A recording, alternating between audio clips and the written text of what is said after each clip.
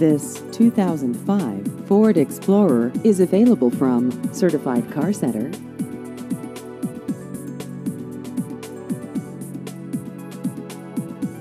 This vehicle has just over 108,000 miles.